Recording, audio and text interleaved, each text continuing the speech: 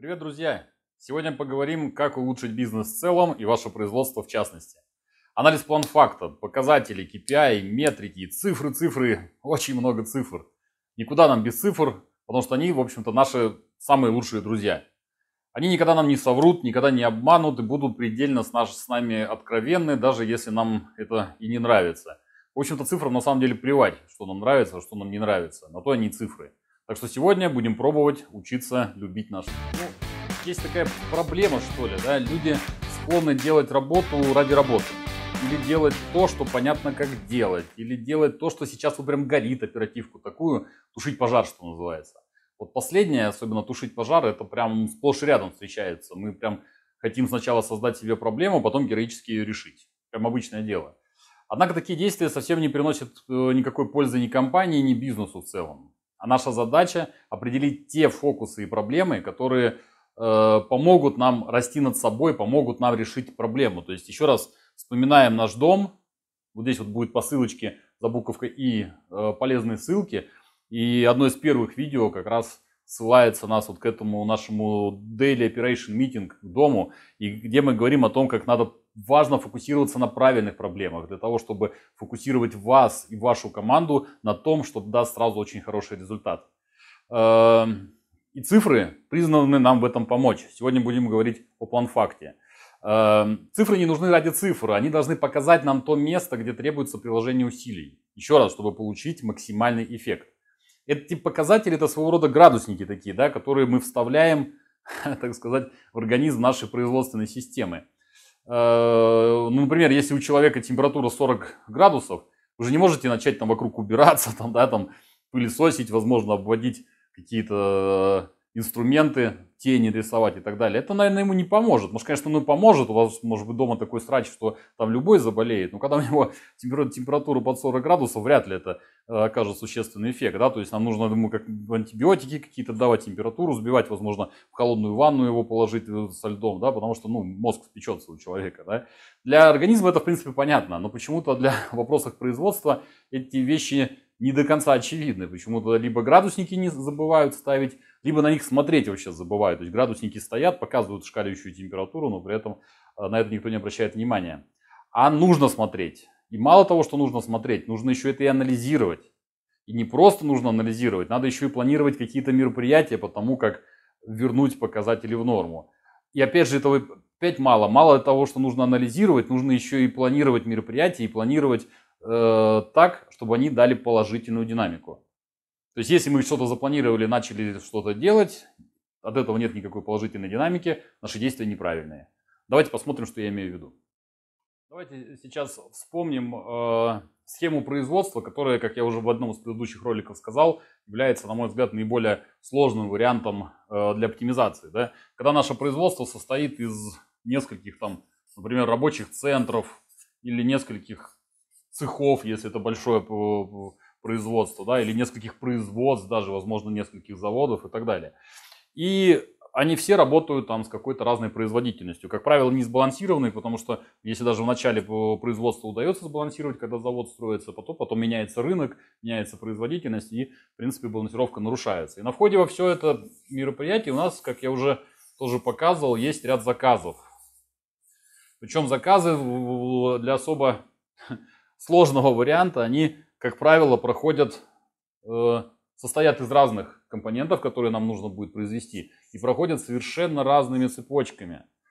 Причем один э, как-то так могут идти технологический процесс, как-то так. В этом заказе уже идут совсем по-другому, меняются между собой какими-то компонентами эти э, рабочие центра. Этот как-то вот так идет, опять вот так, вот так и так далее. То есть в зависимости от того, какие заказы у нас на входе, технологические цепочки, технологические переделы могут быть совершенно разные. И это крайне сложно оптимизировать, потому что по большому счету, как мы говорим, то вот этот рабочий центр начинает сильно быть загружен, то вот этот, то вот этот, то вот этот. И в принципе, как бы давайте пока оставим все как есть. Давайте вот внутри этого производства мы не будем обращать внимание на аварийные простои, на то, что плавают узкие места какие-то, что что-то не в параметрах то, что здесь 5S еще не внедрили, да, во всем этом, что у нас грязь какая-то, возможно, кривые потоки или лишние перемещения. В общем-то, все как есть. Но нам нужно понять, где делается бизнес. А бизнес делается где-то вот здесь. Когда все эти сложные потоки, так или иначе, объединяются в какой-то финальный передел. В этом, на это, и на этом финальном переделе, на выходе, будет появляться то, что мы продаем. Это то, что ждет клиент, то, на чем мы зарабатываем наши замечательные деньги.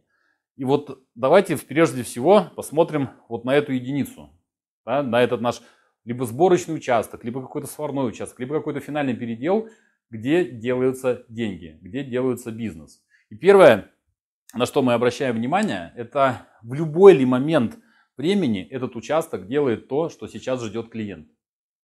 Помните, опять же, вот по этой ссылочке на буковке И, э, если перейдете, найдете ролик э, топ-5 ошибок э, при внедрении бережливого производства.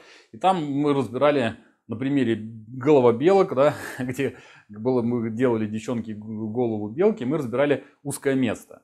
И э, что может происходить с этим э, узким местом, э, когда оно появляется в том, в том или ином Э, рабочем центре здесь. Да? То есть э, заказы сложились таким образом, что вот этот, например, рабочий центр начинает быть загружен максимально, а вот эти рядом стоящие рабочие центры начинают простаивать. Что происходит? Это происходит кошмар для планера что называется, да. Планеру это просто ночной, э, ночной такой ужас, да, что у него есть рабо, у него есть оборудование, у него есть люди на этом оборудовании, люди получают зарплату, э, это оборудование амортизируется и так далее, но оно не загружено. Что он обычно начинает делать? Начинает грузить. Начинает грузить тем, что сейчас, например, не нужно.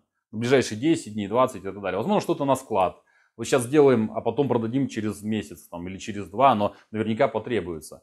Или через год, там, да, или через два года. И начинают производство каких-то компонентов, которые, за которые мы прямо сейчас деньги не получим. И в результате видим то, что на наш финальный передел, например, на 50% начинает работать на, на склад. Или вот здесь вот начинает копиться огромное количество полуфабрикатов, так называемого перепроизводства. Опять смотрим тот же самый ролик, тут 5 ошибок, э, и разбираемся с понятием перепроизводства. Это самый большой грех, да? самый большой смертельный грех, если допускать перепроизводство. То есть мы начинаем производить то, за что не получаем деньги. И вот первое, если это так, вот первое, что нужно сделать, прям вот с таким очень большим фокусом, это сделать так, чтобы наш финальный передел начал производить только то, что ждет клиент. Вплоть до того, что останавливать здесь какие-то центра, пускай они не работают лучше, нежели, нежели они будут производить то, что не нужно. Первая задача запустить в производство реальные заказы. Если что-то делаем на склад, так тоже нужно, да, то мы делаем это согласно той складской матрице, которую мы согласовали внутри себя. Мы говорим, что вот этих у нас надо 100 компонентов, вот этих 200, вот этих 300. Не делаем больше. Если э, нам мы согласовали складскую матрицу, то просто идем это как внутренним заказом. В общем, первое, что нужно сделать, это заняться сокращением перепроизводства. Вторым шагом, что нам необходимо будет сделать, это э, оценить эффективность вот этого нашего финального участка. Существует огромное количество методик, это там ME Machine Efficiency, там OEE, КЭО по-русски, если говорить, там это коэффициент эффективности оборудования, Time Efficiency. Ну, в общем-то, большое количество всяких методик, там, э, которые позволяют оценивать эффективность нашего передела. Самое главное, что нам нужно выяснить, э, как наш участок может работать на полную мощность и сравнить с тем, как он работает на сегодняшний день. Все. Не нужно никаких сложных формул, не нужно ничего сверхъестественного. То есть просто если наш участок может производить 1000 э, единиц продукции, а производит только 500, значит наша эффективность 50%. Даже если мы сделали 1000, но 500 штук мы сделали брака, эффективность все равно 50%, потому что брак, брак не может идти в годную продукцию. Оцифровать с этой точки зрения можно вообще все, что угодно. Я недавно, буквально недавно узнал очень интересный пример, как оцифровывают эффективность курочки, которая несет яйца на фермах.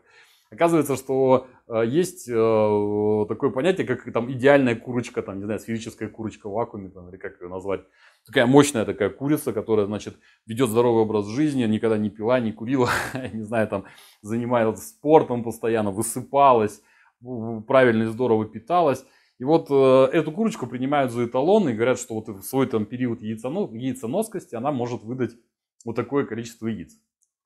Есть на фермах, которые сидят, что называется, обычные курочки, да, которые могут там, не знаю, в пятницу выпить с друзьями, там, да, может быть, когда-то кальян покурить, там, возможно, или там спортом они занимаются только там два месяца после новогодних праздников, потому, потому что пришло время, там, да, питаются нерегулярно, на работе стрессуют там, и так далее. Обычные такие курочки. И вот они тоже несутся с какой-то производительностью. Да? И вот сравнение вот этой идеальной курочки с э, обычной курочкой, да, и есть эффективность э, то есть, если это несет 100 яиц, это несет 80. Соответственно, 80%. Ну и приняли то, что 80% эффективности обычной курочки это хорошо. Все.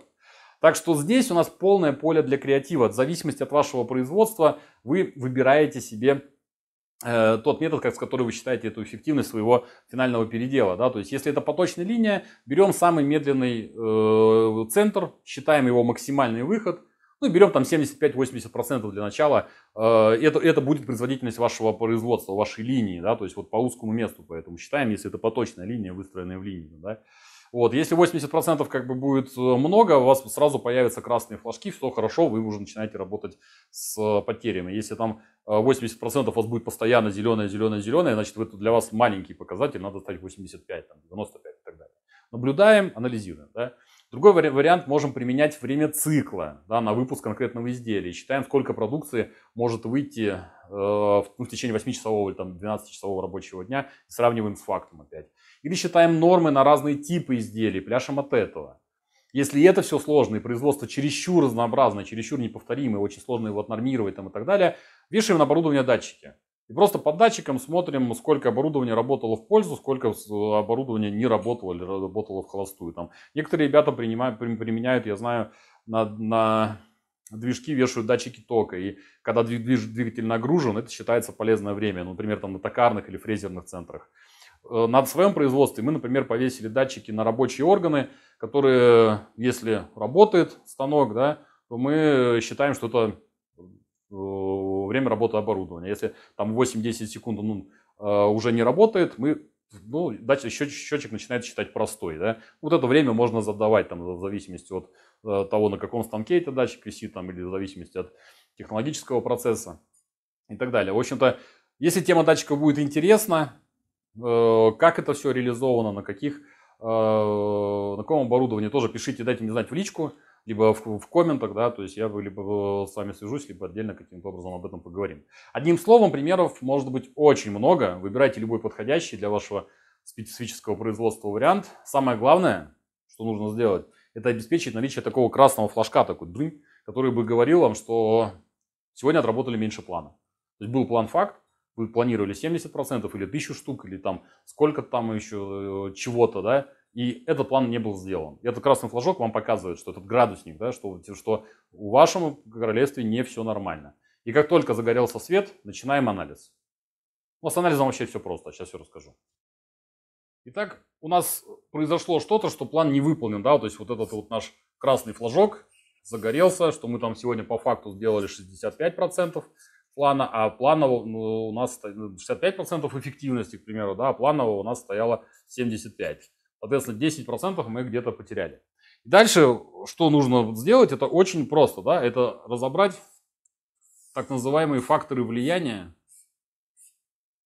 что в нашем производстве повлияло на то, что мы недовыполнили на 10% плана. Да? То есть это могут быть, там, например, аварийные простои, аварийные простои, или, к примеру, нехватка заготовки.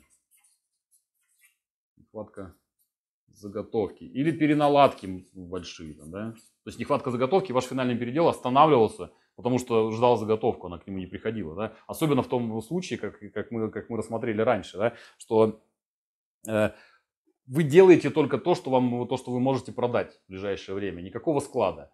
И вот особенно в этом, в этом случае вы можете прям очень часто схватить простое по нехватке заготовки. Да, там. Э, переналадки. Замены сырья у вас могут быть.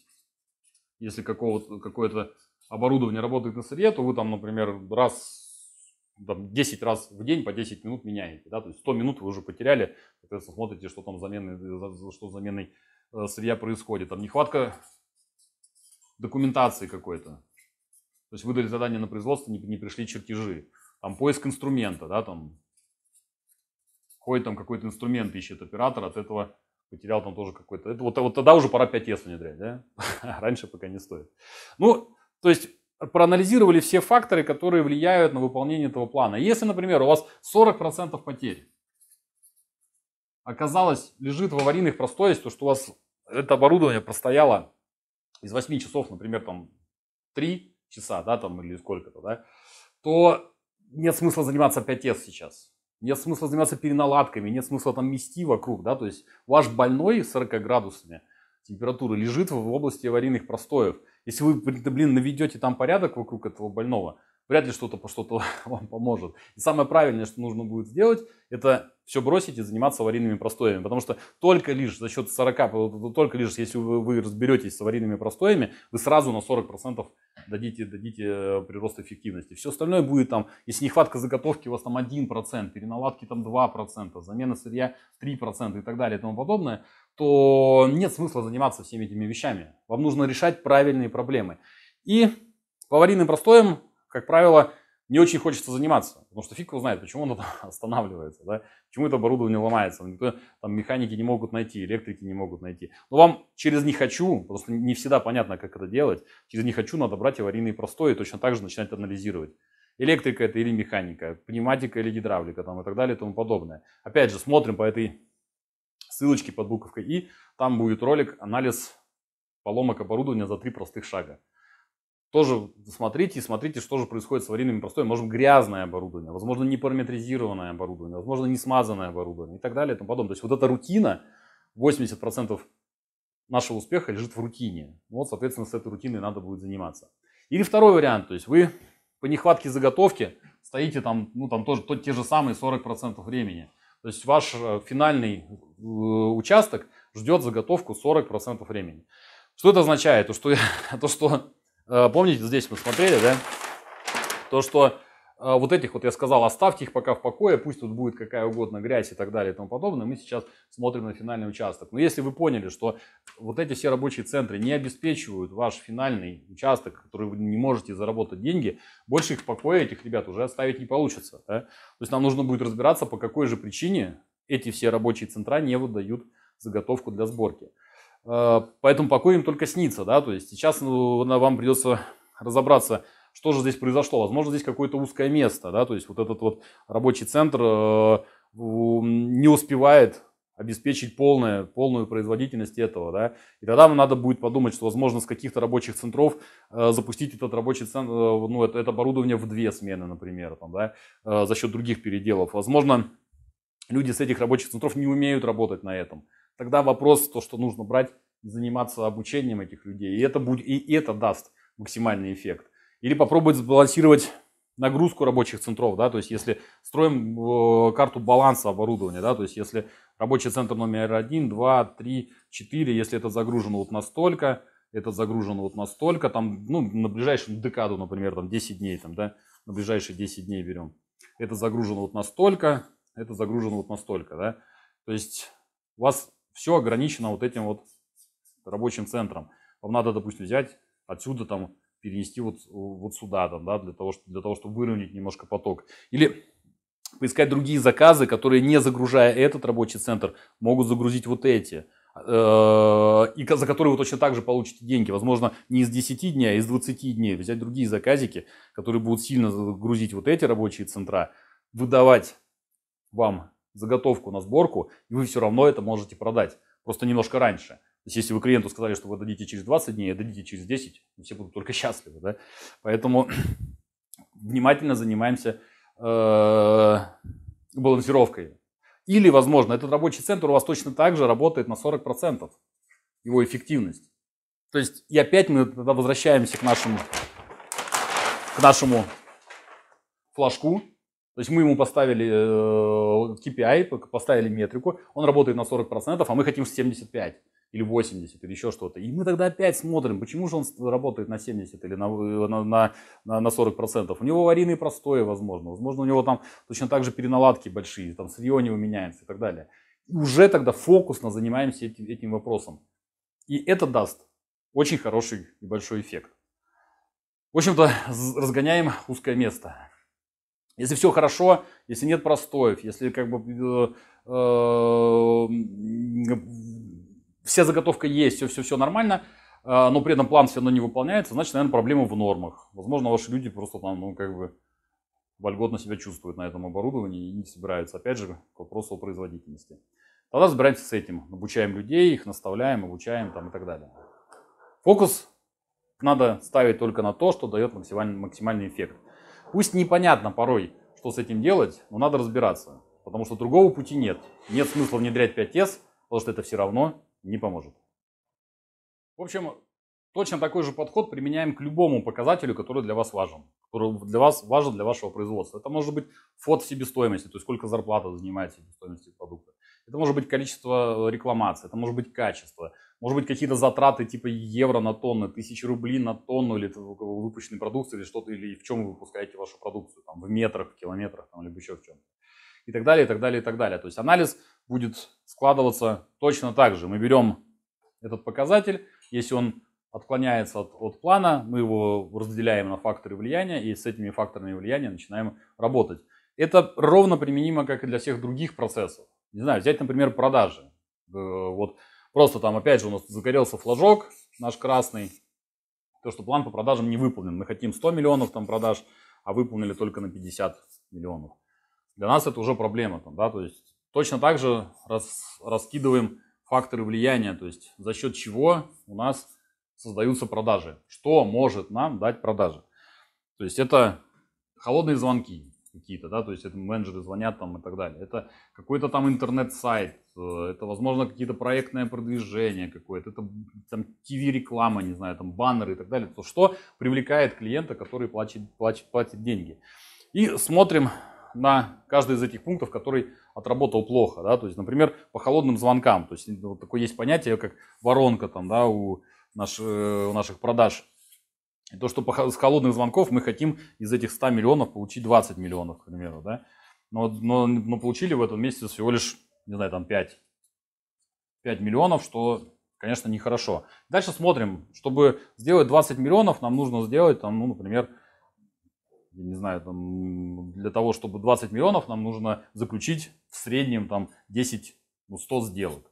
Для 100 сделок нам нужно, например, сделать там 200 встреч с лицами, принимающими решения. Для 200 э, лиц, принимающих решения, нам нужно договориться там о 500 встречах. И для того, чтобы договориться о 500 встречах, нам нужно сделать там 1000 звонков.